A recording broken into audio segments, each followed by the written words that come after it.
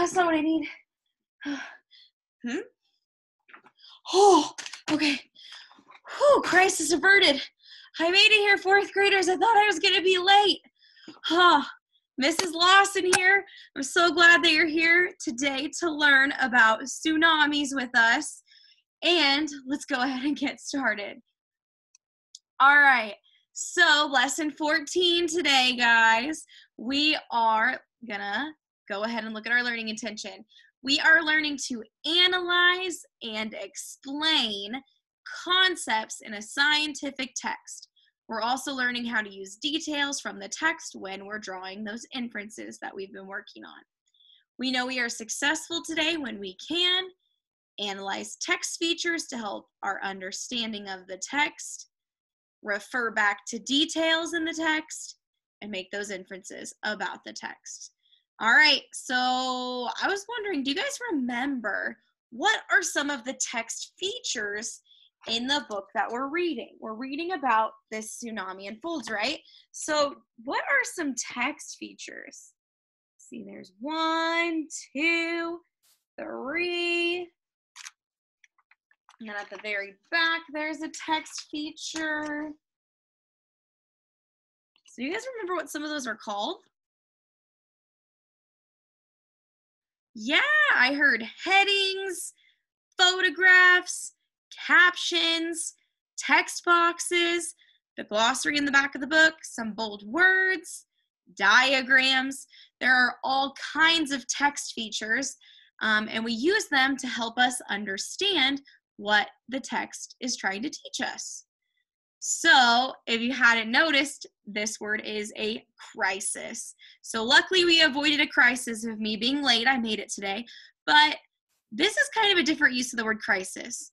At the Daiichi plant, workers struggled to manage the nuclear crisis. What do you think that means? And if you see that picture,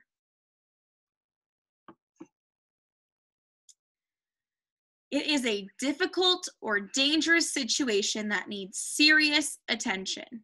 So, some people use that word and say things are a crisis, but this is a real crisis with the tsunami, right? All right, so we I want you to try and write this word down. It's a tricky one. We kind of read it in the text yesterday. So, what is this word? Well, I'm going to give you a hint. This actually comes from the French word debris. I don't know how to say it in French, but it means to break into pieces. So the word debris means what? Yeah, it's when something is breaking into pieces, like buildings um, or just different things are breaking, and what the pieces are is debris. Now, what about this word? I'm going to give you another hint if you don't know what it means oh, I said the word debris, but the word unique comes from the old Greek um, word that means one. So if the word, if that is meaning one, if you're unique, you're special. You're like the only one like you. And that's why um, it's important to know where those base words come from. So for your foundational skill today, your practice, you're going to read this passage about the family restaurant. And the word from French that you're focusing on are words like apartment, menu, scene, and this word restaurant, guys, Miss Lawson still struggles to spell that right. So the reason why some of these are tricky spellings is because they're actually from French. All right, let's go ahead and keep on going in this story. Let me get my arrow. Dealing with destruction. That night, Temperatures dropped and it was snowing in some areas. People huddled together in dark evacuation centers while strong aftershocks kept rumbling.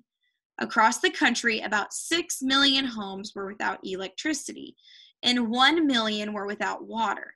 Many people had no food or heat. Wow, that sounds really hard. Can you imagine having no food, no heat, you lost your home? No water. It's a lot. Did you know the wave that traveled around the world? In Hawaii, the tsunami created waves 11 to 12 feet high. Nine foot high waves reached California and Oregon in the United States, sinking boats and destroying a harbor. About 18 hours after the quake, waves from the tsunami reached the coast of Antarctica where they cracked the ice shelf. Holy smokes. March 11th, 7:30, hashtag quake, high school flooded, but students are safe on third floor. All right, we're on Friday at 7:30 p.m. Worst of all, many people were separated from their families with no way to find out who had survived and who had died. Roads were blocked and the train service was shut down. Many people, especially in cities such as Tokyo and Sendai, oh, I even looked that up. Sometimes it's hard to remember all the cities. Sendai started walking home. In some cases, the long trek would take days. All right. Did you know Thucydides? Thucydides, Thucydides, I can't say his name correctly. Thucydides was a historian from ancient Greece. He was the first to record a connection between earthquakes and tsunamis. He wrote that the first sign of a tsunami is often the sudden draining of a harbor as the sea pulling away from the coast. Rising radiation levels. At the Daiichi plant, workers struggled to manage the nuclear crisis. The floodwaters had damaged the generators, so crews were desperately pumping seawater into the reactors to keep them cool. By now, radiation levels near the plant measured eight times higher than normal. Officials ordered thousands of people living near the plants to evacuate. So here it's is a headline Government declares state of emergency at number one. Did you know? The world helps. Many countries prepared to send search and rescue teams to Japan. Other nations and relief organizations promised supplies and money. Individuals and private organizations, such as schools and churches, helped by organizing volunteers and donating supplies. Another real life experience. Hundreds of people were trapped inside the airport. Water surrounded the buildings, and cars, trucks, and planes had been tossed everywhere. A fire had started in one section of the airport. Yumi recalls that the people at the airport tried to stay calm. Everyone kept helping one another, rationing food and drinks that came from shops and vending machines inside the airport. People controlled themselves, taking very little food or drinks. They had no idea how long they would be stranded there, so they were careful to make all their supplies last. So, this is Saturday at 5 p.m. Search and rescue. Military helicopters had been flying over the disaster zone to assess the damage. Slowly, long lines of trucks reached hard hit areas. The rescuers' work was difficult and often heartbreaking. Nearly 10,000 people were missing in the town of Minamisani Riku. That's hard. 600 people were trapped on the roof of an elementary school in Sendai. Doctors and nurses were waving pink umbrellas to attract rescuers' attention at a hospital in Iwanuma. Iwanuma. Down here it says quake, hashtag quake, damage much worse than imagined. Tears in her eyes when we arrived. We're on Saturday at 5:15. While most of the work involved recovering those who had been killed, emergency workers rescued many people too. Using specially trained dogs, they carefully searched for victims in the rubble. Another real life experience. After three days, Yumi was finally able to leave the airport. Her car had been carried off by the tsunami, so she, like many others, walked home. Yumi was thrilled to see that her family was fine and her home was still standing, but water had destroyed nearly all of her neighborhood. Many neighbors had lost everything. Several people moved in with Yumi's family for a long time. They had no gas, water, or electricity. All right, that's the end. And then here we have the glossary. So it's giving us words and what they mean, and then our index if we wanted to go find something specific. So when it comes to scientific text, readers can use different kinds of information from the text and those text features we talked about earlier to help us understand what's going on. So let's start with this glossary. How does this help us as readers understand what's going on in this story. Take a minute, pause this video, and think that question through.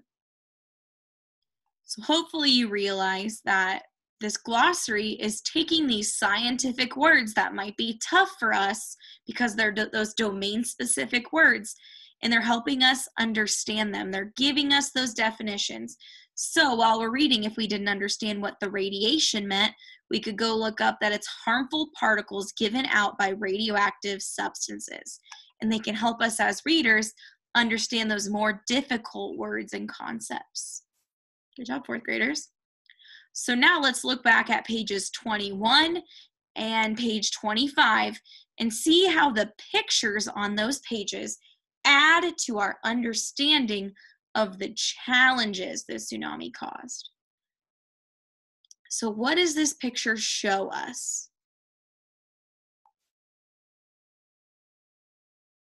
Yeah, it shows us the damage, all of the rubble, um, how destructive that tsunami was.